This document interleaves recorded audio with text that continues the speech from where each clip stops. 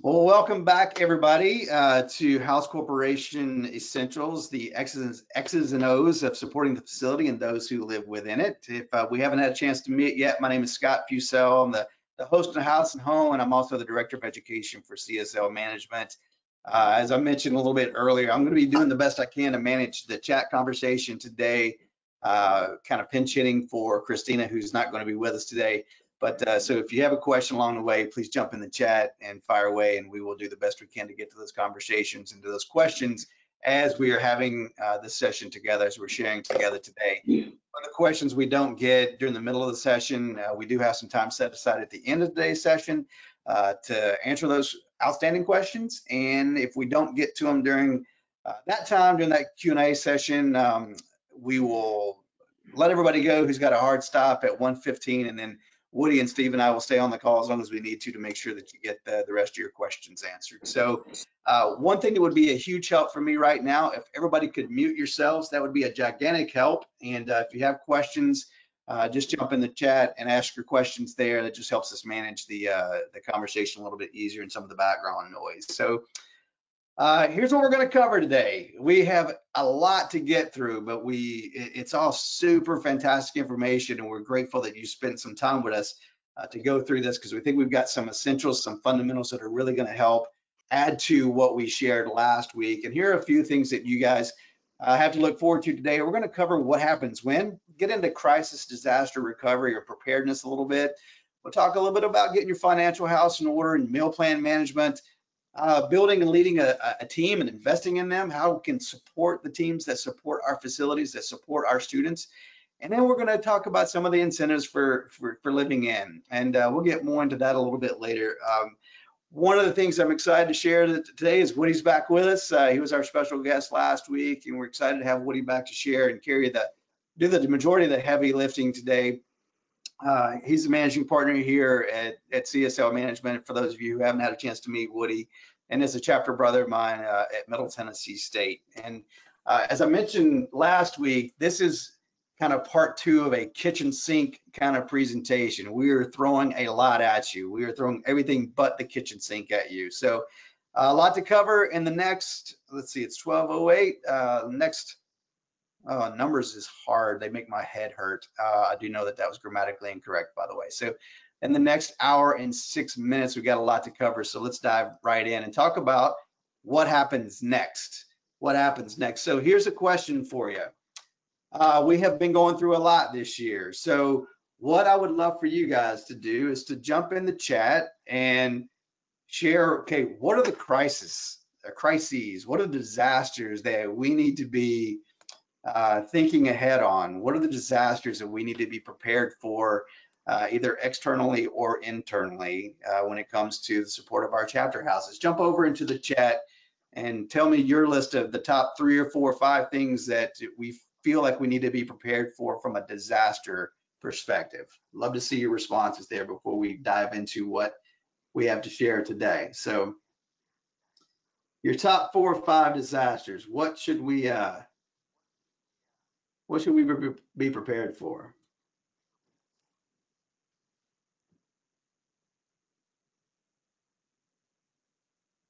Spoiler alert, we've been in one for six months, by the way. So love this. Fire, earthquake, water flooding, that's fantastic. It's funny how parts of our country, uh, preparing for an earthquake was not even on my radar screen until um, I started working for for CSL, and then we started to realize, oh, we've got properties on the West Coast. We've got to be aware of that. So love that. Thank you, Layla. Uh, Doug's jumping in here. Yeah, the penalty of a house closure, COVID restrictions. Yeah, all of that. So tornado, absolutely. I, I know it seems like, uh, especially the last few years in the Midwest and in the South, uh, we've had huge tornado, um, uh, huge tornadoes, huge storms, more severe storms coming through, uh, speci specifically the Midwest and the Southeast. And uh, love all this. Yeah, so these are great, great additions to our conversation here. So I appreciate everybody sharing. Um, Woody, what's on uh, what's on your list? What are some of the things that you would encourage our groups to be prepared for? Yeah, so it was what uh, Scott and I were preparing and talking through some of the, of these things, especially with Christina, who's on the front lines many times uh, on many of these disasters or crisis when they arrive, trying to, we could spend probably two, three, four hours uh, when it comes to disasters and crisis. And, and what we know as an industry, right, our game, if you will, for many uh, almost decades now has been been pretty sharp. Uh, whether it is an unfortunate issue with a something happening to a member at one of our facilities or anywhere on campus, if you will, and and, and what we have to do and how we react with that, and our national organizations providing step by step measures, step by step policies, procedures that we should be following if or when that happens. We certainly have spent a lot of time and money and resources on risk management uh, both at the men and women's level, and what we should be doing uh, in any situation and trying to manage our risk, and whether it's taking a event off campus or, or out of the house, and what that looks like, and our formals and things of that nature. But when we look at today in, in disasters, it's just fascinating and crisis of our facilities and what we should be focusing on and looking at it both of you, uh, those of you on this call today, both as house directors and the volunteers that are uh, managing uh, the day to day operations, if you will, of these facilities, when a crisis hits or disaster hits, it, it has really changed uh, in, in the frequency, the severity, and the different elements of it. If you look at just right now, uh, yesterday, uh, the fires in Colorado advanced, I don't know, it was an ungodly amount of miles, I think over 100 miles or whatever that it was advancing. And we were sitting there near the campus of Boulder. And what do we need to be doing? And if you look at just at campuses like Berkeley and San Jose and the fires that have been happening in Northern California and air quality and when do we need to really truly worry about evacuating our members? Or as Shannon was saying in the chat, as a uh, someone in Tuscaloosa, Alabama, like she is, the tornadoes that just hit there a couple of years ago. So there's all these different, uh, uh, I don't know if they're necessarily different disasters, but the magnitude and, and the frequency in which we're seeing these. Uh, and then you throw in a pandemic. Then you throw in the last couple of years, we had several conversations about active shooters on campus and bullets going through sorority houses and different elements. So pointing all of these out because we know um, as an organization and as uh, house directors and volunteers and stuff, we we typically have our life safety game in order these days more often than not. But what is really key and what we re- remind us, and as we're again, the goal of the last session and today's session is dusting off just the basics, if you will, and the reminders as we've been so focused the last seven or eight months on COVID 19. We've got to we've got to remember there's other business at hands. And when it becomes to disasters, when it comes to crisis, there are certain things that we just got to make sure that we have, that we understand what our national organization's policies and procedures are. They're readily available, they're typically straight to the point and easy to comprehend and implement into our local strategy, if you will how are you going to prepare for each one based on the region and where you live? Which ones are more risk to you than others? Certainly, if you're uh, out west or uh, in the southwest, not a lot of risk for tornadoes, but you're going to have fires. Maybe not a ton of risk for hurricanes, but you're going to have certainly earthquakes that could yield other challenges in that scenario we've seen even for our Florida chapters or those in southern uh, Mississippi and southern Alabama, the hurricanes and, and the activity that's going there. Have you pulled out your disaster preparedness and have you looked through it and talked through what are the game plans for moving members out of the house and getting them to safer scenarios? Are you utilizing technologies that are there that are out there with our cell phones to where we can communicate uh, better? That was one of the big things when we were helping some of our clients navigate the tornado in Alabama you would be surprised the number of parents that call the fraternities and sororities versus the university or anywhere else trying to find their students or find their children i'm sorry. So they they do look to the, those organizations to help them in locating them. So do we have we looked at the different technologies? And there's a lot GroupMe and other different things. I mean just go ask the students. They'll set it up for us in about 30 seconds.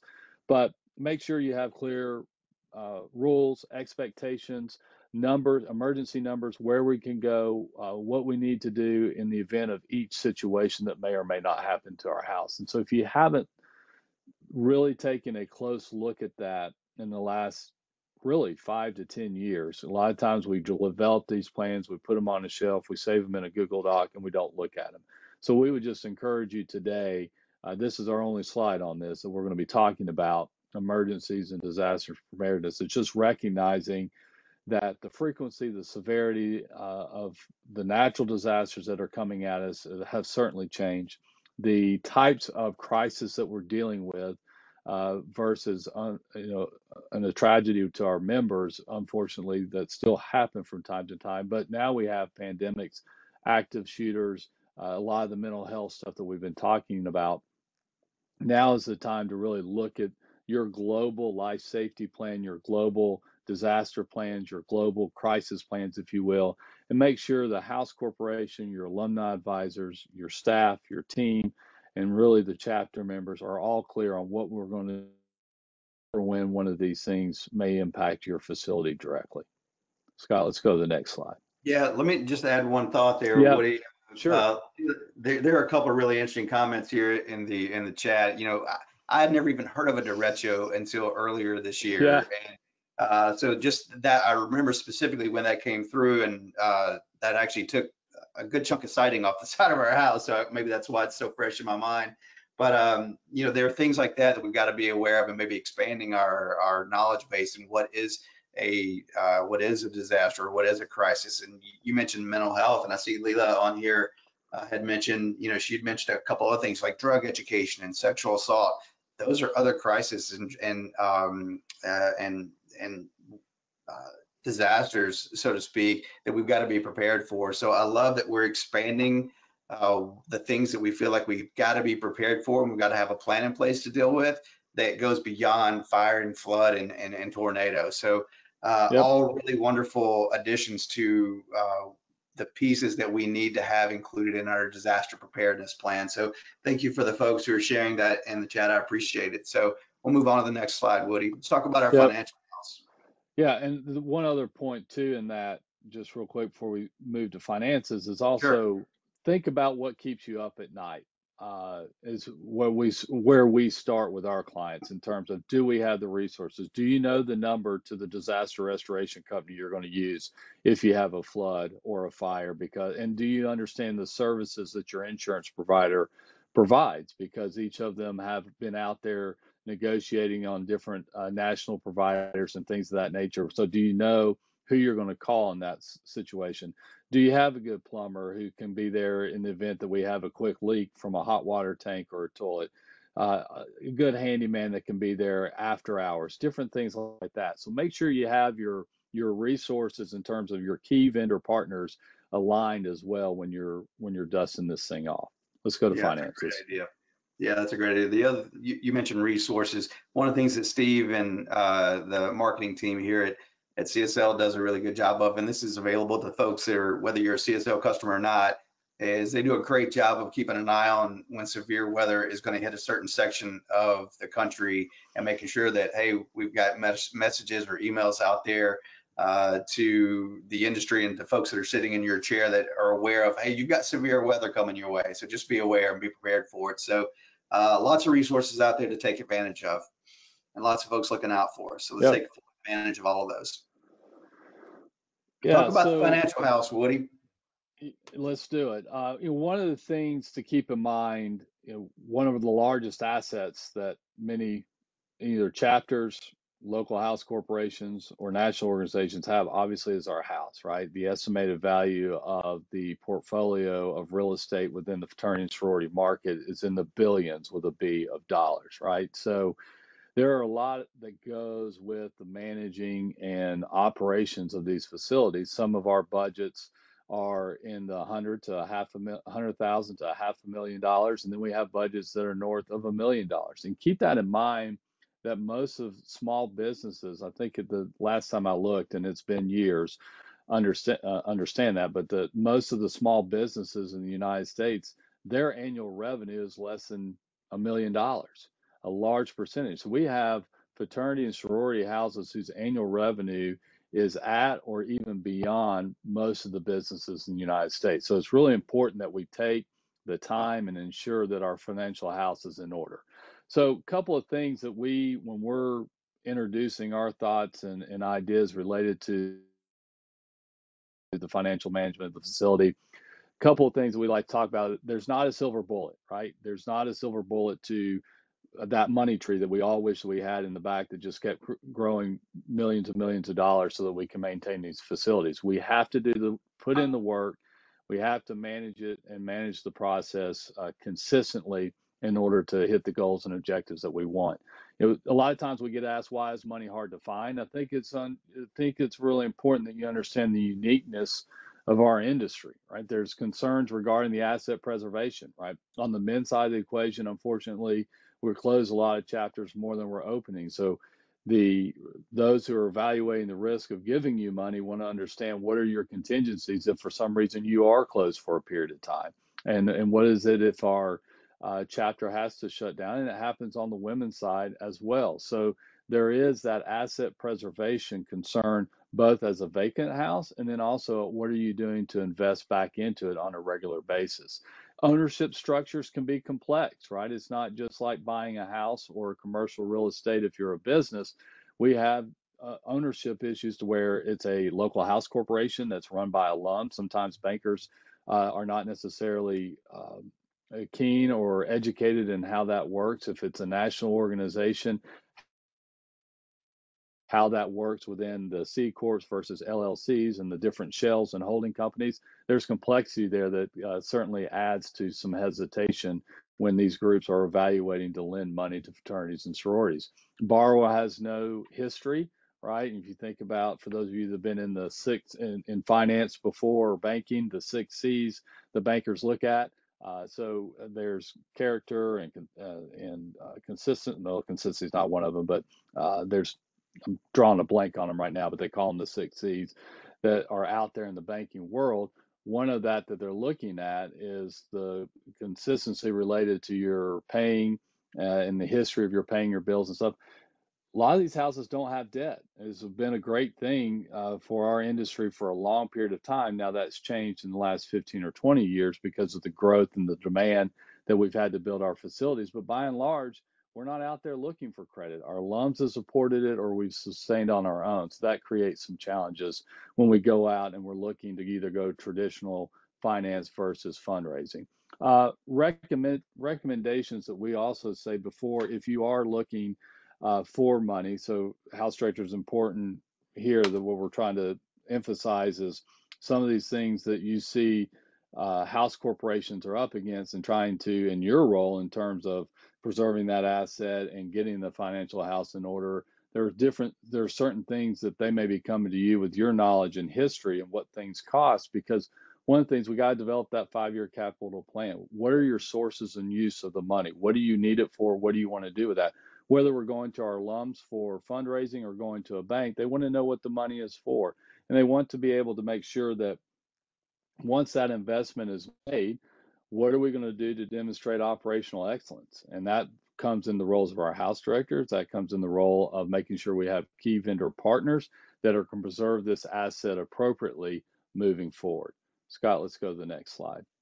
Hey, um, just to jump in really quickly, Phil, for yeah. a lifeline there. So, uh, Phil, thanks for jumping in there. Character, capacity, capital, collateral conditions, and credit score. So they're your six C's. So thank you, Phil. And uh, yep. one of the things that I, I, would love to add to what you just said is that I think it's really important that the house directors, they're of all of us who are don't wear the hat that a student wears, they're the ones in the house every day, all day, every day. Yep.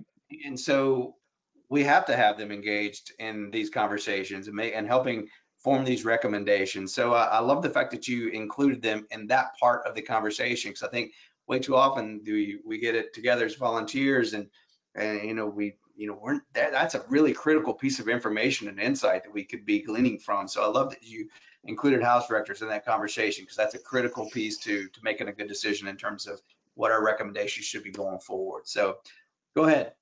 Yep. So sources uh, when we start talking about where are our sources again we would all love to have that money tree in the backyard that just keeps replenishing itself day in and day out. But common sources, alumni right fundraising, that is still uh, a, big element to it. On the women's side, it tends to be a little more difficult than on the men's. We always talk about the fact that if the men could recruit members like the women, and if the women could raise money like the men, we would have a billion dollar industry easily just in terms of cash flow.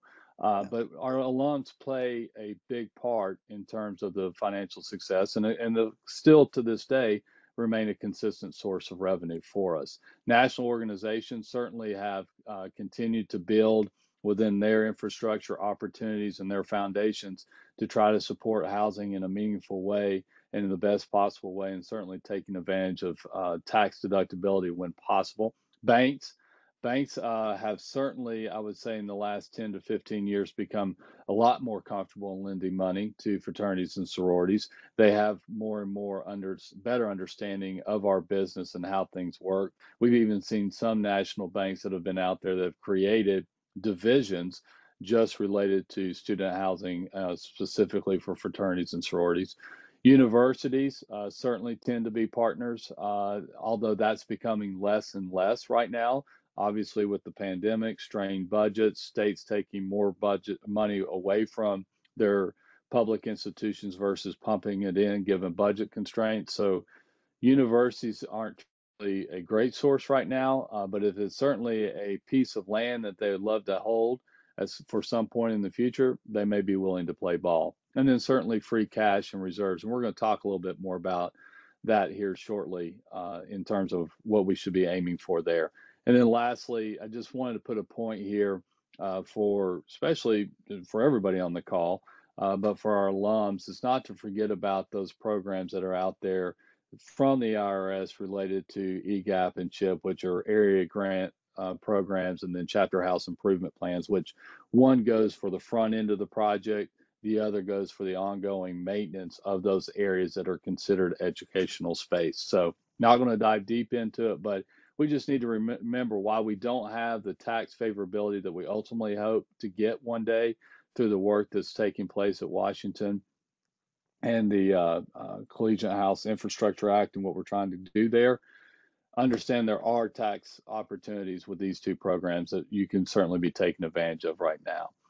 Capital plans and projects. Uh, the big thing right now, and especially in the environment, this is our time of year, October, November, when we start talking with our clients and working through their capital plans for the coming summer, right? So it's not a March and April scenario. And one of the main, two main reasons in that is that it takes longer now to move a project through all the hoops that we have to because of the uh, dynamics that are in the market, but also understand our vendor partners by and large, the especially in the construction industry, are busier than ever.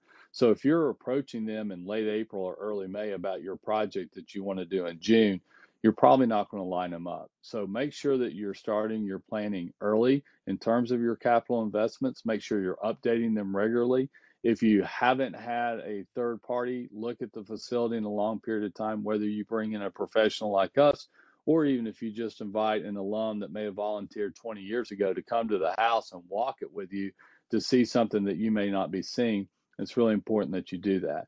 And the last thing we'll say on capital planning is that it is difficult sometimes to prioritize because we may not want and understand that investing $40,000 into a new boiler may not help us on the recruitment side of things when we would love to invest $40,000 into our formal living room or dining room or doing a great TV, gaming room, or whatever it may be. So you do need to talk through those prioritizations and make sure you're getting the maximum return on investment, but deferring some of those critical items like boilers or roofs or things of that nature, if you defer too long, are going to cost you more in the run. Scott, let's go to the next slide. A Couple questions so, for your group, Woody. Yep curious of everyone, and we have talked about this many times, so it's a little bit of a quiz. You know, how much should we be setting aside? So when we talk about reserving, I'm curious to see if anyone remembers uh, in terms of what we typically recommend uh, on that front. Or if you just want to take a guess, you don't even have to remember what we say. Anybody gander and how much we should be setting aside? When, and what I'm talking about here is setting aside and reserving money for capital improvements in the future. Matthew saying 25%. Okay. Man, that would be awesome. Yep. Any other guesses? Or dreams. Dream, dreams are okay too. yeah. I wish we could do this. Yeah. 10 to 50%. There you go. Minimum of 10. All right. Scott, I think we had a second question here too, Yeah, if I'm not mistaken. Now let's let's flip it, right? This is how much we hope to save when we balance out our budget every year, how much we can be putting away. Uh, and these are great guesses that we have in there. But how much should we be charging? So when we talk about fees, again, something we've talked about several times in the last seven months. What do we should what should be our goal when we set our room and board rates? As as As compared percent- to what? as a compared, sorry, thank you, as a percentage of the market, right? And you consider the market the university room and board rates, you consider the market apartments. But when we talk about as a percentage of our room and board rates, anybody remember what we should be aiming for in meeting that market value? While while those goals come in, uh, Woody, what what do we what do we typically see as compared to the industry average?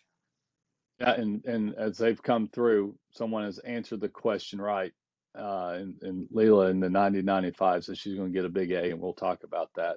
So yeah, let's go ahead and go to that next slide, Scott. But yeah, what we typically see on the men's side, market room and board rates is anywhere from 50 to 60 percent, quite frankly. Uh, so we we we consider ourselves sometimes subsidized housing. On the women's side, I would say the average is more in the 70, 80 percent. So we do a little better job. But the answer to that question, as you see on this slide, and the goal is 90 to 95 percent. Uh, again, we want to. We're very price sensitive, and we don't want to get people uh, unable to enjoy this experience because they can't afford it fraternity and sorority housing over the years has always been a great viable option on that front and and but we have to be sure that we're charging enough so that we can as we note here reserve at least 10% of our revenue every year. So whatever our revenue is uh, before we spend it hopefully we're able to set aside at least 10% you may have also heard that we say if you own the building two and a half percent of the value of your building is another formula that some financial experts out there recommend as another option to put in there because as we've noted 20 every 20 to 30 years depending on wear and tear and sometimes it can be less you're essentially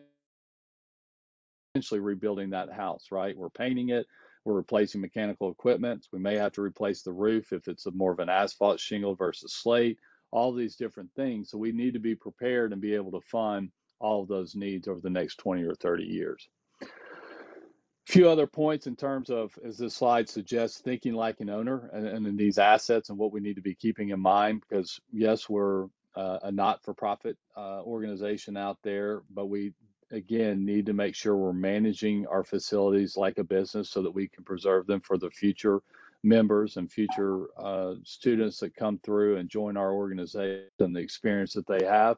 We need to evaluate our contracts.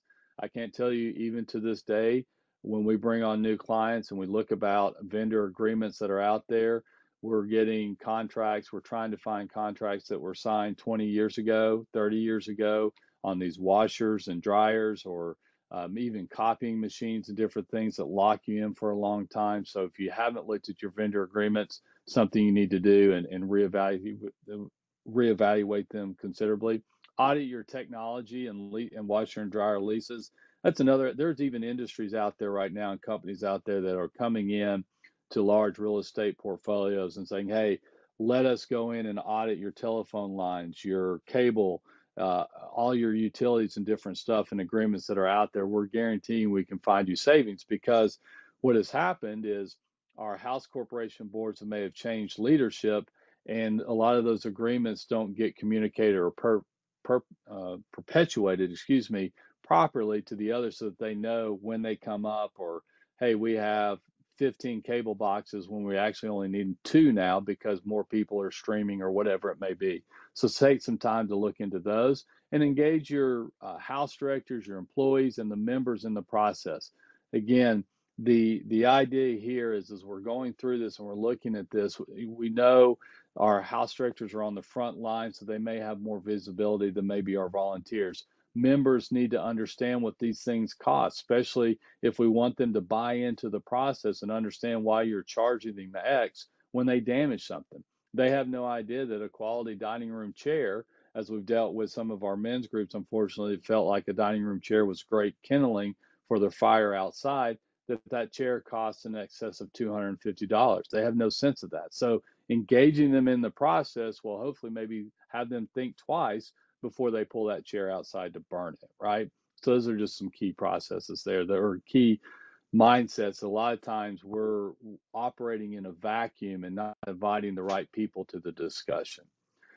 So, question for you to the group here, if you want to get in the chat as well, what do we think is our largest expense typically for our houses, for a local house corporation, even their national organization? What do we think is a typical the largest expense? That we're spending the most money on year in and year out in our houses? I'm eager to see the responses to this one.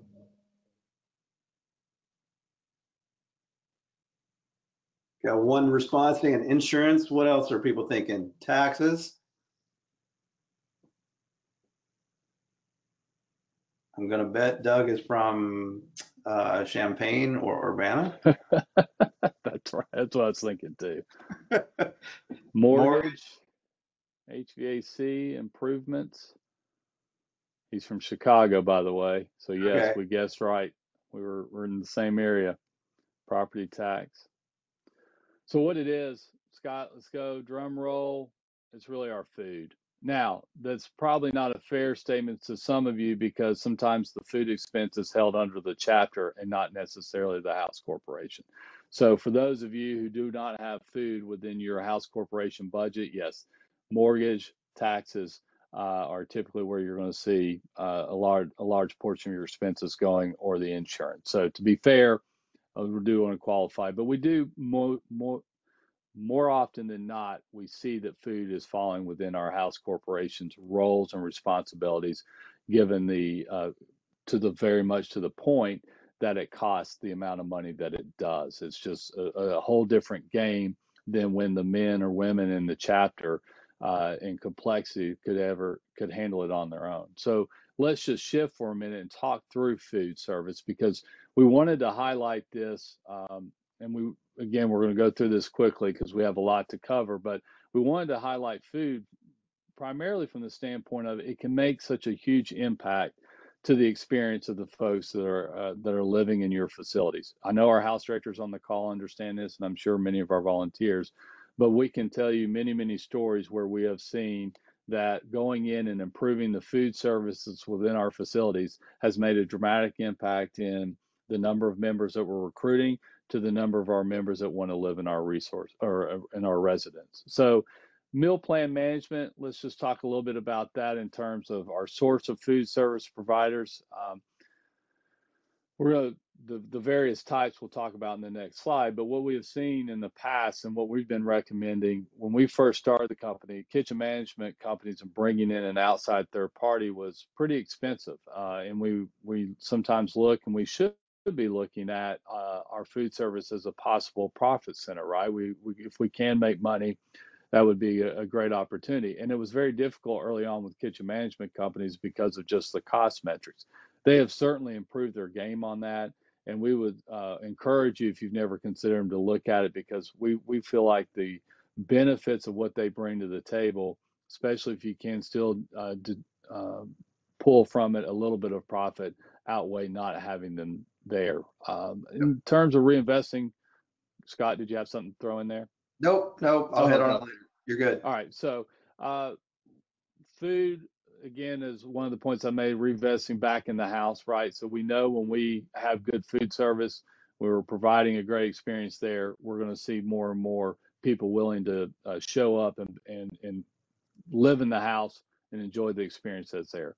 We need to make sure we're evaluating the performance of our food often, especially now when we have a lot of food allergies.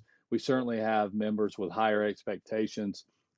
You know, it's not necessarily just the comfort food, but I think you do need to be mindful of what region of the country that you live in. Uh, the students that are going to the South want to eat differently than the students that may be going to California or Oregon. It's just the reality of it. So we need to make sure we're communicating and talking through uh, what we're serving and being intentional about the experience that's happening in that. We uh, talk about experience greatly, and we feel like the kitchen and the dining, uh, the food, all that elements creates uh, a great opportunity to make sure the fraternal uh, experience that you want to come alive in your house is coming and using it as the selling point. And let's not have our cell phones in there. Uh, let's make sure that we're having opportunities. Maybe I know out of a COVID environment when we get back to hopefully a normal environment where we can have family style dining or plated meals versus just our buffets and things of that nature. Next slide, Scott. Um, kitchen operations, again, I want to I'm going to speed up because uh, we're already running long on time. But what works best for you? Do you still need a chef? A lot of people still employ uh, their cooking staff, which is totally fine. Kitchen management firms are a great opportunity. We see less and less on the catering front just from a cost standpoint. And then some folks, they just don't offer food uh, because they don't have the capabilities or, or the room to do it within their facilities. Keep in mind, food can again be our best selling point, but can be our one of our worst as well. So we got to make sure that we're providing healthy meals and good meal service and it requires commitment and communication. Those are key elements to ensuring that our food operations are being successful, whether you have employees or whether you're using a kitchen management company. Scott, next slide. Yeah, this is where I take over, but I'll, I'll, I'll yep. wrap up that section. If there are two things that I, well, and if there are two places where I would definitely recommend people invest when we kind of talk about this financial, getting your financial house in order, man, if we, if you can find a way to invest in a kitchen management company and a house director, man, what that just, that's a game changer for your, um, for your facility. Get total game changer. Uh, kitchen management, house director, Oh man, game changers. So let's talk about your team. Uh, so Scott, just real quick, because yeah. I was looking at chat, and I know because of our time, I want to make sure we get some of these points if we, if we run low on it. But you know, there's a great point in here in the chat talking about somebody that doesn't have a kitchen, uh, and you want to have food service in your house, and maybe have some meals brought in from time to time. Uh, there's a comment, and it's a great recommendation look at your other chapters on campus and if they are providing food service and if they are using a kitchen management company outside of maybe just getting meals from your local restaurant or caterer or whatever that may be fairly expensive uh, the comment that was put in there you know talk to those local uh, kitchen management companies that are working in the chapter houses because they may be willing to provide meals for you as well. That's a great recommendation that i just wanted to point out no, that's a great one because I'm thinking about uh, like the, the, facility we lived in. We did not have a commercial kitchen, and uh, but a couple of times a year we would have a full chapter meal uh, catered in, and I, those were what some of my favorite nights of the year. Uh, and I would love, you know, and and it was difficult to pull together. It was the only reason we didn't. We only did it a couple of times a year. So if you, yep. it's become so much easier to do now. So please take advantages uh, advantage of those opportunities and the accessibility of that experience for your members. If you don't have a commercial kitchen in your facility. So let's talk about our teams and uh, just want to share really quickly some of the things that we see out in the field. Um, oftentimes we see confusion outweighing uh, the clarity, which is uh, regardless of what you're talking about, that is uh, that is an issue. So uh, from from boundaries of the the chain of command, we we absolutely need we need absolute clarity. Uh, we have to help everybody understand exactly what their lane is and and how to stay in it. So uh, specific to number two on the on the screen here, uh, we often see house corporations relying way too heavily on house directors. Now, uh, this is a really capable, willing bunch of folks, uh, many of whom are on the call today, but um, we can't expect them to rally to tasks that aren't within their job description if we haven't at least had a conversation. So house corporations, uh, we want to really encourage you to please make sure your team, um, as well as your house director, is really clear on what uh, what is their lane, how to stay in it, and how to thrive in it. So let's let's make sure let's flip the scales on that and make sure that clarity starts to outweigh the confusion that we oftentimes see. And, and I would add to uh, specifically to number four, uh, if we're going to ask house directors to perform, at a really high level, let's make sure that we're equipping them. Uh, we rarely see house corporations adequately invest uh, in the professional development of house directors. Now, we don't believe that's because um, anyone's super budget conscious or they don't want their house director to have access to those opportunities. Oftentimes it's just because the house corporation may not know what's available out there. So for those of you who serve on a, a, local house corporation, we really want to encourage you to, to reach out to your headquarters, to reach out to your campus, um, find out what opportunities might be available uh, at little or no cost uh, to help your house director be set up for success. So uh, learn what those opportunities are for growth um, because these are the people who are the eyes and ears of your facility.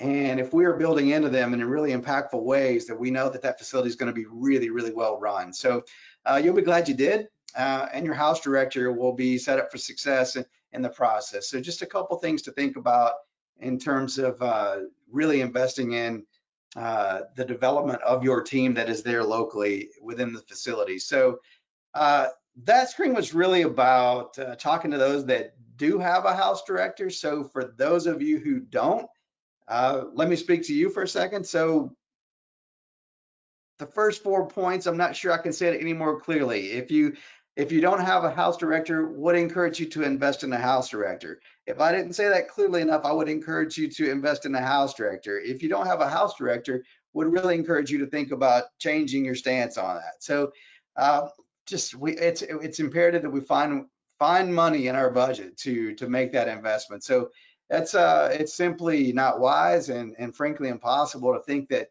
uh, it's a it's a good decision to have 18 to 21 year olds living in these multi-million dollar facilities without an adult nearby. So um, in addition to that, I would just encourage you to to vet your vendor partners um, uh, thoroughly and uh, make sure that you've got clear expectations for their performance and that uh, that they understand exactly what you're expecting during your relationship with them. So with that being said, I, I do have a question for the group. Um, what's out there?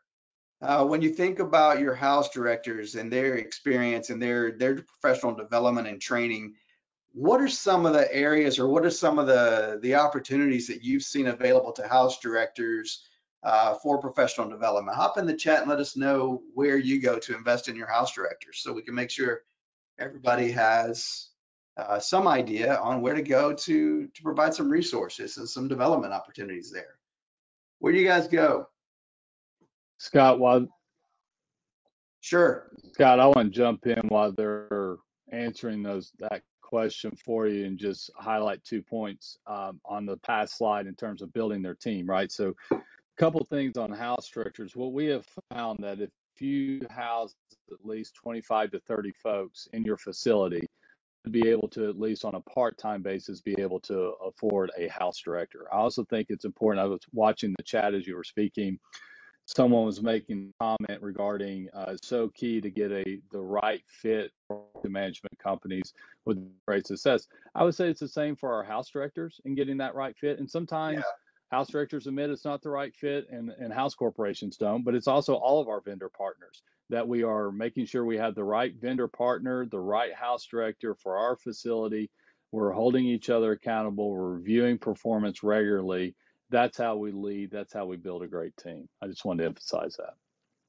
Love that. That's great. So um, it's it's I love seeing a couple of the responses here. I was talking about at Oklahoma State, they actually require a live-in house director for for all the uh, chapters there. And um, I love that uh, Jana's given a shout out or Jana's given a shout out to her house director. So that's great to see that encouragement. So for those of you who are a little bit uh, that, that, may be looking for opportunities to build into your house director to give them opportunities for professional development, here are a few opportunities. Um, that, first off, your organization probably has opportunities uh, to build into your house directors for for their training and development your industry partners likely do. You know, you've got access to the House and Home series with us. Uh, we've got the Fraternal House Directors Conferences coming up next summer. Um, you've got a lot of different opportunities. We know some organizations like Tri Delta and Alpha Chi Omega, who are partners of ours, they, you know, they offer house director training for their house directors that are on their staff. So you've got a lot of different places where you can go uh, for for training. So I, I do have uh, Shelly Sutherland. Are you on the call today? Let me script flip through here, see if Shelly's on with us. I didn't see her, Scott. Yeah, I'm, Oh, no, oh, I'm you- here. There you Oh, great. Great. Shelly, can I put you on the spot really quickly and just ask, you spent your entire career on a campus. Uh, What were, the- where were the places and what were the resources that uh, you would make sure that your house directors knew about, that your local house corporations knew about? Uh, What were the main things, that main programming opportunities you tried to seek out and make sure that they were aware of? What, was, what was the guidance you gave there?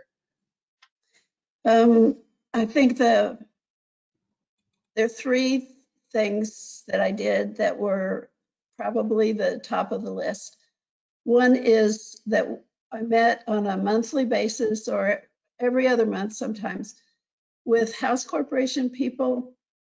And we met in Eugene and then we repeated the meeting in Portland so that we got everybody. And we had the topics, the similar topics to what you're doing. We wanted everybody to exchange information and ideas about how they were running and what worked and what didn't, best practices. We also did that with alums and in recruitment season with uh, recruitment advisors in both Portland and Eugene, which is a lot of work, but you get a whole lot of information. My favorite activity, however, was the having a house director monthly meeting and taking the house directors to different departments at the university. So we, we visited the counseling center, the health center, the um, security and fire safety people, and learned from them all the different ways they work for the university. But I was fortunate enough to work for a university that truly believed the fraternities and sororities were valuable assets.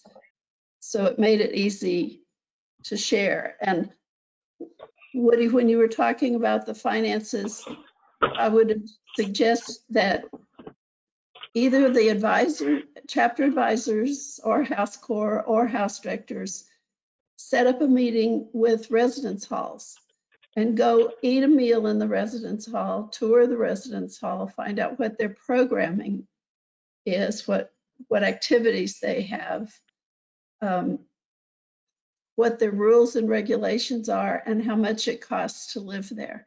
And then you can make a much more um, comfortable decision about what rent you're going to charge your members.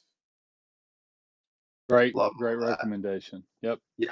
Yep. So there are a ton of resources available uh, to us. that Just oftentimes we just don't know about them. So Shelly, thanks for sharing that. And I just want to encourage everybody on the group, on the call to uh, reach out to your national, international organization, or reach out to us, or reach out to your campus and find out what opportunities there are for training and development uh, for your house director or uh, even for your vendor partners. I mean, I think we, we are a different type of community. So when we're inviting people into our homes, it's really important that they understand what is acceptable, what's not acceptable, and kind of the culture of our organization so that they can serve us at a high level and so that they can meet our expectations. So uh, with that being said, let's get into some of the basics that uh, some of the blocking and tackling that we oftentimes fail to focus on because it's it's really easy to be distracted and uh, sometimes we forget about some of the fundamentals. So what do you want to ask you to dive into some of the things that, um, you know, let, let's, what are some of the things that we need to know that, that maybe we don't know? So talk to us about the need to know. Well, first, I feel like I'm in a presidential debate because I'd like to go back to the previous question for a minute, if you don't mind, before I get into this one. Uh, no, but real quick, just looking at the chat, there were two good points on this one that uh, Shannon Smith had made, and I wanted to. add- One is that they invite their house director to their monthly calls for the boards. I think that's really important. If you need to go into executive discussion and ask them to uh, leave the call or the meeting, that, that's certainly appropriate as well. But including them in those, I thought was a great idea. And then again, emphasizing our vendor partners like our food companies and and others that are out there that service the insurance uh, folks as well. They all have great opportunities for you to build into your house directors from a training standpoint. So it's not there's there's just so much out there that if you even wanted to do it just for your house director, look to your kitchen management company, look to who your organization uses for insurance, and look to your organization. And those three areas and the university, let's not forget them, those areas right there, boom, you've got so much training for them. Uh, you'd be amazed. Scott, let's go back to the basics. So, real quick, running through just some basics here that we want to make sure the idea here when we look at a facility and we're working with house directors and we're working with house corporations, like just do you know the basics of your facility? What are the things that you guys need to know or your vendor partners team need to know in terms of uh, the building and so that you can properly maintain it and secure it throughout any situation, right? So, a couple fundamentals. Do we know how to shut off the power, uh, the gas, and the water to the house? Now, we always put a caveat to power because we don't necessarily want people running in and hitting that big switchboard in the house because you could do some really major damage to the facility. But again, understanding the power components, breaker boxes, things of that nature is critical. Shut off for gas, water, shut offs for our water heaters, toilets, washing machines. We can't tell you countless times, and, and understanding even the members and residents come to our house. We've worked with house directors who had mainly run, maybe have run off to the store, and we're dealing with a crisis because a member has flooded a toilet uh, and they can't, uh, they even don't know how to ta- turn it off at the source, right? So that's a really important key. Location of access points, attics, roofs, crawl spaces.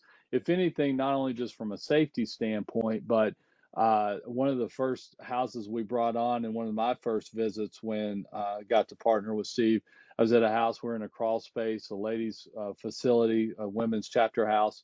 I'm sitting there with the house director. We're in the basement. It's the access to uh, the crawl space off of the basement. She's like, "Oh, I didn't even know that existed."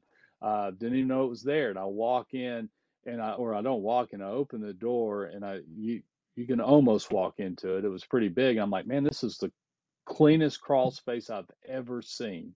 Like I've never seen a crawl space this clean. And it was dirt, but it was still really clean. There was a massive rock in it.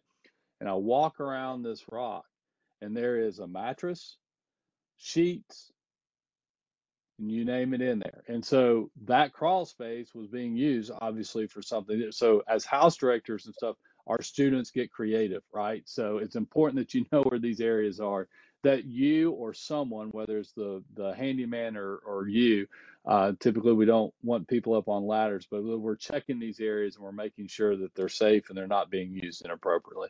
Next slide, Scott. Uh, in terms of emergency planning, right? We've already visited about this a little bit, but what contacts are in your bedside table for 24 7 support? Again, if you talk about peace of mind, and we can go ahead to the next slide, Scott, when we talk about peace of mind and where we're going, you know, these are the vendor partners that we want to make sure that we have readily available when we're supporting our house directors and supporting our house corporations. Plumber, electrician, a good HVAC mechanical guy uh, disaster restoration team and the property management like us if applicable and if you are able to to bring that in from a financial standpoint but the key being too not only are they available uh, you need to have the conversation about their after hour support a lot of times we may have these people and they say oh by the way we're not uh, interested in um, coming to your house at three o'clock in the morning. And sometimes you need that. So make sure you're having that conversation. Next slide, Scott.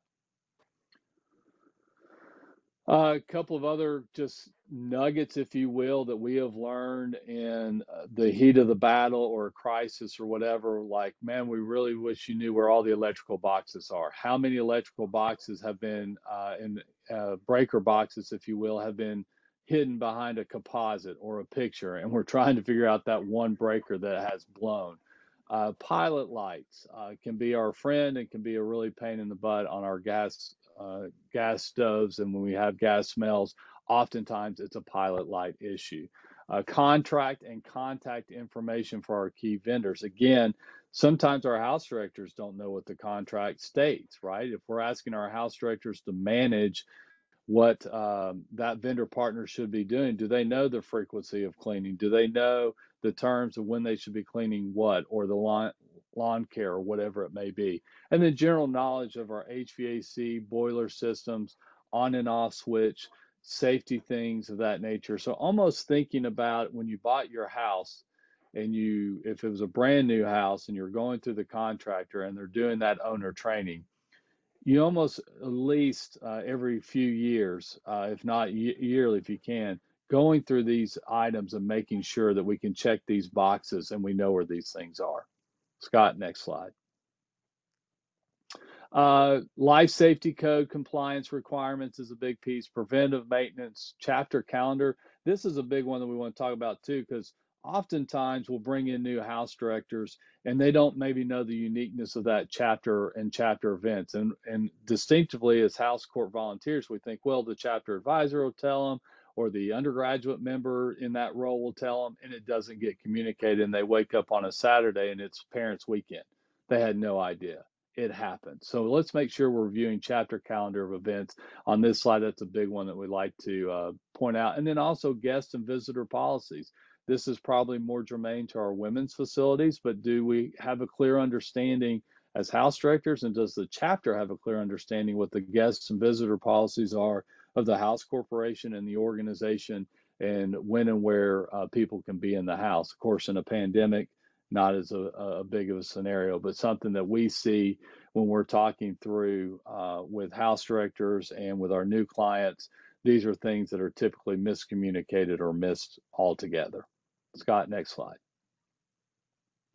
So we're going to shift here. Uh, what we've tried to do last week and then up to this point is again, we're dusting off our house corporation hat, right? And all the basics and what we should be doing day in and day out as a house corporation in support of our facility and partnering with our local staff and partnering with our national organizations and partnering with our university, right? So we have to look inward.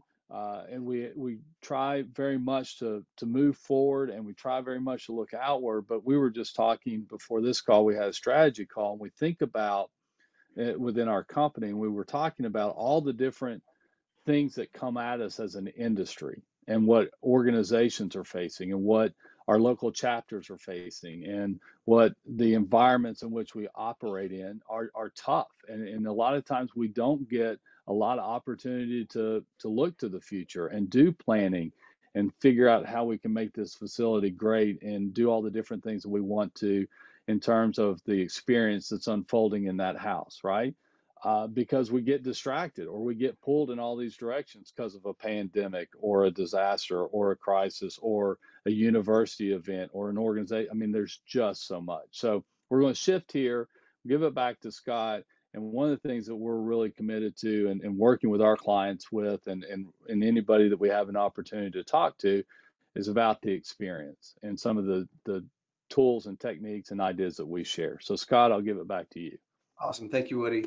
Well, uh, last week, and even on uh, in some of the chats we've seen today, uh, we kept hearing uh, either directly or a theme of, gosh, how, how, do we just get people to live in the house? How do we get people to want to live in the house? So uh, we wanted to spend some time today talking about that. So I, am going to ask you guys to uh, to think like Walt Disney for a few minutes, and let's talk about doing things so well that uh, that people, our members specifically, will want to see us do it, uh, whatever it is.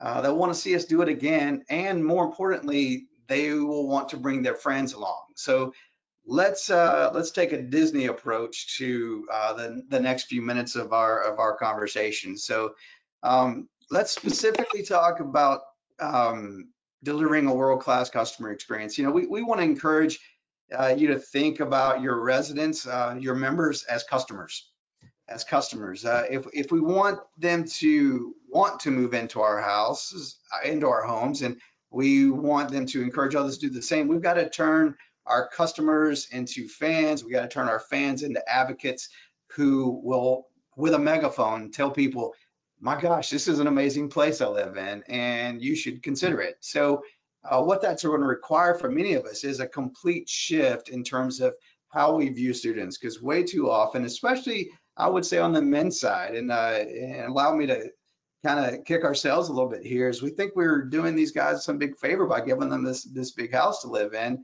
Um, but uh, really, you know, they at the end of the day, they are our customers, and we have to start thinking about them as such because they're paying us a lot of money to live in these facilities. So, what can we do to shift the way we see them? Uh, start looking at them from a more customer-centric perspective. How do we get those customers turned into fans, and how do we get those fans turned into advocates who are willing to go out and uh, advocate for our, our experience and what we have to offer in these facilities. So we want to talk for a second about the customer experience. For some of you who are really, that might be a new term for you. Uh, if so, really the Harvard Business Review review or really uh, defines it and summarizes it as the sum total of all your interactions with a company. So think about it. If you've visited a website or you've gotten into a chat conversation with a customer service rep, or maybe you've had somebody knock on your door and uh, Hmm. say introduce themselves because they're a you know a local landscaping company, or maybe you've gone online and purchased something, or you followed a company that you admire or you want to know more about on social media, or you've done something crazy like actually go into a brick and mortar store and purchase something from a real life person.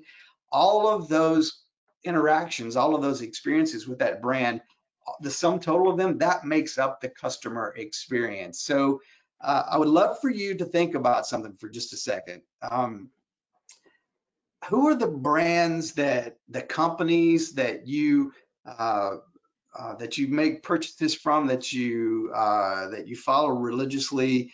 You know, who are those brands that you are fiercely, fiercely loyal to, and why? who are those brands? Hop into the chat really quickly and tell me who are the brands that you are fiercely loyal to?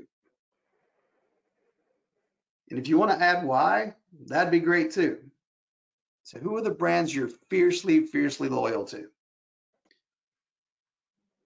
I will tell you, I've been doing uh, this workshop. Uh, you're getting the five minute version of about a two or three hour workshop right now, by the way.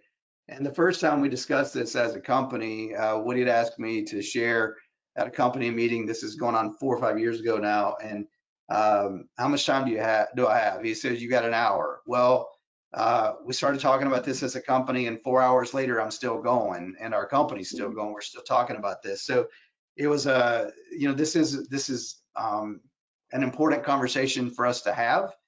And again, you're getting the the, the four minute version of it or the, the five minute version of it. Well, some of the brands that kept popping up in our conversations were Chick-fil-A and Target and Southwest Airlines. And it's funny as we've continued to do this workshop and taken it to the outside the, the company, uh, some of those names continue to, to be uh, shared by the people that are in our audiences. I love David Friedman here added Target and Tra Trader Joe's, uh, two common brands we hear of often. Um, I'll tell you one I'll add to the group uh, is Zappos, uh, and I'll add Amazon to that uh, to that list as well. You know, you're going to get um, get what you need when you need it, reliably, dependably, quickly, and if you have a customer service issue, they take care of your issues really, really quick. They're easy to do business with. So I love that Sean has added uh, Southwest Airlines and Hyundai. Also, uh, those are two great brands that people often bring up. Wegmans. I don't know who Wegmans is, Robin. So I love that that is a local brand for you probably because oftentimes a lot of what we learn from best is our local brands because there's a lot riding on local brands because they've got to serve the local community really, really well, or they uh, that's their success and livelihood is depending on serving the local community really, really well.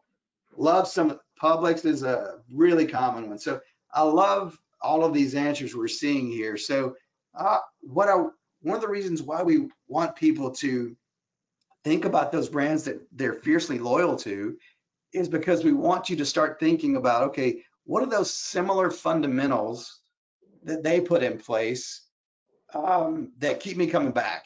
And how can we replicate those uh, with our own experience that we're providing the students that live in our facilities. So I do have a, a follow-up question to this. So what if our goal was to provide a world-class customer experience? You know, how would that change the way we uh, we do business?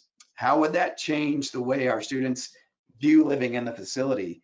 Uh, what would that make capacity look like? Uh, would revenue continue to be an issue for us, or would we want people living in our facilities and banging down the door to live in our facilities? You know, how much easier would your job be? Would you continue to have to pull teeth to get members to live in? How much easier would it be to recruit volunteers to support that experience? So, uh, just would love for you to uh, think about that in terms of, man, how much better would our lives be as volunteers and house directors and even campus professionals if we were providing a world-class customer experience to the members who call our chapter houses homes. So it takes a little bit of a shift, but wouldn't that be um, be amazing? So um, again, I mentioned a, a second ago, you're getting the five-minute version of a two or three-hour workshop here. So if you're interested in going deeper on this, I'd be happy to have a conversation on the side and and talk about what we can do to make that happen. But uh, for today, we wanted to at least introduce the concept because one of the things that we see with high performing house corporations uh, and how and and high performing brands is they have this customer centric um, posture that they maintain. Uh, the house corporations that we see that don't have a problem with capacity, uh, that have an active culture and community within their house, they're the ones who are asking their students, okay, what do you want out of this experience? And then they're finding ways to provide it uh, in big and small ways. We talked a little bit about that last week when we talked about the reimagining spaces. The students' needs are different today than they were when we were in school. So uh, I want to encourage you to ask your students what they need out of that experience because the, the house corporations that are doing that, they're thriving. And they're not getting distracted by uh, the noise that we oftentimes get distracted by on our way up the top to the top of the mountain. So I just want to encourage you to give that consider that that cons some consideration because um, it's important for us to always remember that uh, every member living in our facility is is a customer, uh, is one of our members, and most importantly, that that those members that are living in our facilities, that's somebody's son or daughter uh, that's somebody's grandson or granddaughter. That's somebody's brother, or sister, niece, or nephew. Uh, we've got to serve and support and care for those people accordingly. And, and if we do, if we do that really, really well, if we serve them extraordinarily well, we will continue to see tributes like this uh, cemented into the front porches of our chapter houses. We'll continue to see our chapter members or our chapters recruiting the best and brightest on our campuses. And we'll continue to see these lifelong friendships like the one on your ones on your screen right now continue to to evolve. So um, when we're providing a world-class customer experience for the members that are living in our houses not only is that good for them then but it's great for our organizations over the long term. So let's keep that in mind as we move forward because we see the high performing chapter houses or, or excuse me house corporations uh, that's one of the things that they really that they're really really extraordinary at. So let's talk about what now and start to, to start to wrap up. Um, yep. One of the things we would encourage you to do uh, again is to be consistently critical of um, of of your operations and con consistently critical about how you're living out some of the essentials that we have shared the last two weeks. Evaluate your strengths, weaknesses, opportunities, and threats uh, frequently. I've got on the slide here each semester. If you can get together, because we talked about how much easier it is to get together as a team to do that, uh, let's do it more frequently than that because the dynamics within our facilities are changing rapidly. And so it's important for us to be nimble enough to adapt to those changes as well. So Woody, last uh, last week you talked about there were really three different types of scenarios that we see in terms of house corporations. So give some recommendations in terms of next steps depending on where you are right now. Yeah, so last week we focused on the kind of the dire strait, right? We can't find anybody, we don't have any volunteers. The House National Organization is scrambling. So as we wrap up today and look at this, the, the two most commonly we see is that we have uh, coming in is the uh, an experienced house corporation that is trying to possibly perpetuate and move forward uh, with the next generation of le- leadership. And we're very well versed. We have our stuff kicked into a pile. We got things going. So when you're when you're operating in that capacity and things are going great, it is important to understand if you have a perpetuation plan. What are you doing to develop the next generation of volunteers to fill your shoes when you leave? And have you done the right stuff in terms of our record keeping? Uh, a lot of times back in the day, if you remember, you get the old banker's box. Here's all of our paperwork as they were perpetuating. Now we have so many tools and resources and technologies. Make sure, even if you've got your game going uh, in all cylinders clicking at one time and you're going at great guns a blazing, make sure that you are doing the proper record keeping and that you are investing in others. And at the end of the day, where are we doing in terms of our capital and where are we doing in terms of, of tracking and investing into our facility appropriately to make sure it's going to be well maintained and available to others. And if you need to look at a third party and get their opinion moving forward, that is something that uh, you may want to invest in and look at uh, as you uh, continue to move forward. The second one, Scott, if we go to the next slide, as we see, we're, we're new, right? We have new volunteers that are coming in. Where do we begin? We're excited. We want to take on the world. Uh, we want to do all these wonderful things. We would encourage you just to take a breath, begin at the beginning, and make sure that you have things uh, that need to be taken care of in these check boxes that we've just talked about the last two days. Uh, what uh, is going on and what we need to do to make sure that if we have any big fires going on, potential fires that may need attention right away, uh, if we don't have resources, if you were brought in and it wasn't like we were talking about the last slide, a, a group of folks that had everything kicked into a pile, you were just brought in because you were willing to show up.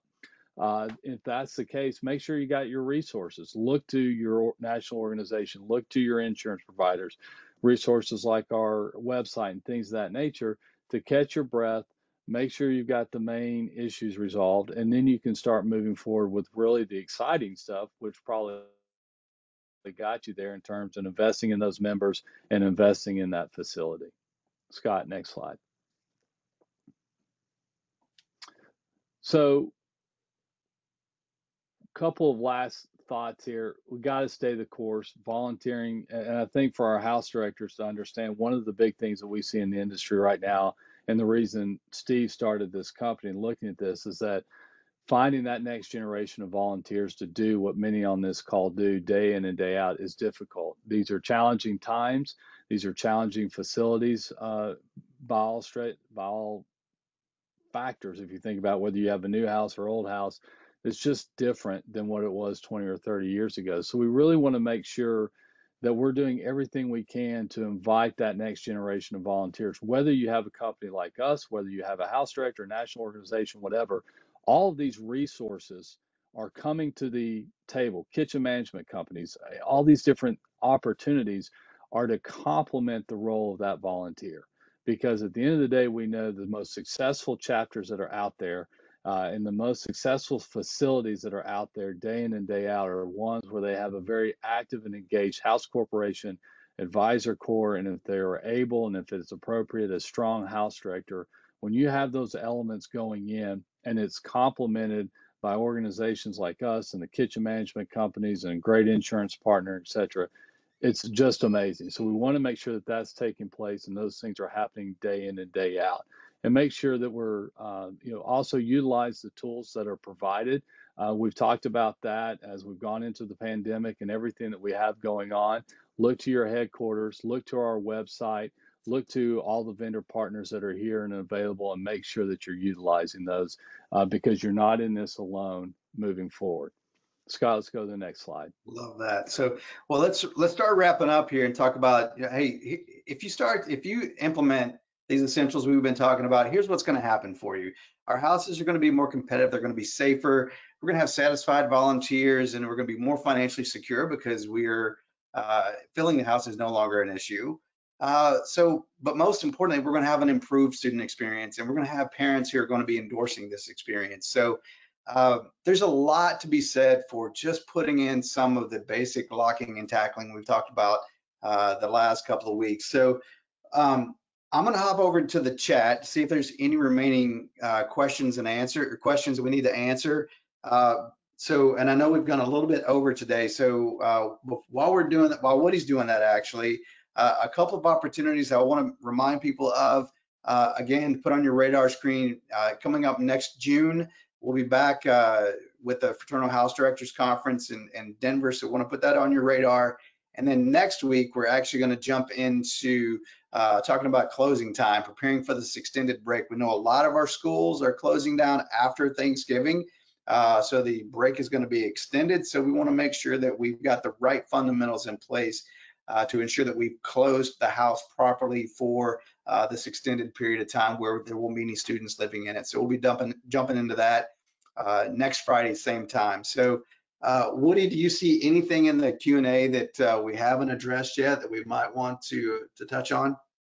Well, we just had one that came from Phil. Does CSL have a cheat sheet checklist uh, for much uh, what was covered today? So uh, there are, uh, and again, I would go to the Housing Hub on our website. There's a lot of different tools and resources, Phil, that are available there that you're that you're free to have, uh, depending on who your insurance partner is as well. They have a ton of those, and if there's anything specifically uh, that you're looking for that's not there, uh, let us know and we'll be happy to, to share it with you on a lot of these different topics that we covered. Yeah, Phil, the other thing I would add to that, sorry to interrupt Woody, but uh, we'll make the recording available uh, on Monday. So you should be receiving the court re- recording as well. So you can kind of fast forward through the slides uh, and if that, if that helps provide additional resource as well. So looks like Richard's got a, a question here, Woody. Yep, regarding about utilities. Uh, so, Richard, it really depends. I don't know if there's, I would say more often than not on the men's side of the equation, we see a, a the house corporation structured where the house corporation basically has a lease with the chapter, and that house corporation is focused on real estate, uh, taxes, insurance, and any major needs of the facility. And they're asking the chapter to take care of all the day-to-day operational expenses and paying them and and handling that. Now we're seeing it creep more and more over to the house corporation again, just like it is f- difficult to find volunteers willing to jump in and do some of the work that is required for our houses. We're also seeing that finding undergraduate members that have the time and capacity because they're so programmed to go through as a treasurer and take care of these things it just takes a lot of a higher level uh, of accountability, if you will, in it. Fortunately, there are technologies like OmegaFi and Billhighway and other stuff that are helping there. But I would say more often than not, on the men's side of the equation, the chapter is taking care of day to day expenses. On the women's, is probably 50 50 just because of where they are and how they've set up their facilities. Yeah, Great question. Um, I'm not seeing anything we haven't covered. So let's uh, let's wrap up. So uh, last week we covered a lot. We've thrown literally everything but the kitchen sink at you. So you know, last week we were we dove into uh, campus and student trends. Uh, we gave you some starting points to consider. Jumped into some of the foundational components, and uh, and then you know what happens if we need to hit reset. And then and this week we dove in. Um, talking about disaster recovery and getting our financial house in order and you know the impacts of implementing all of these essentials that, that we've been uh, we've been discussing. So uh, our goal here was to help people start stop playing checkers and start playing chess. Uh, so we hope that uh, sometime along the, the last two weeks, of these two sessions, that you've picked up a few fundamentals, a few essentials that you hadn't considered before that enable you to kind of move the needle in that direction. So uh, with that being said, I just want to encourage you guys to stay in touch.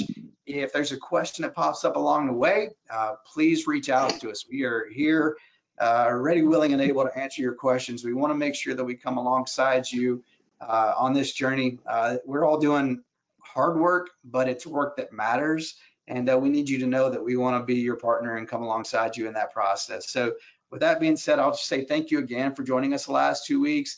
Uh, really grateful for all that you guys have done, for making some time to be here, and for all that you continue to do for the men and women that call our chapter houses home. We are so grateful for you. So thanks again for making some time today, and we'll see you next time on the next episode of House and Home. Take care, everyone.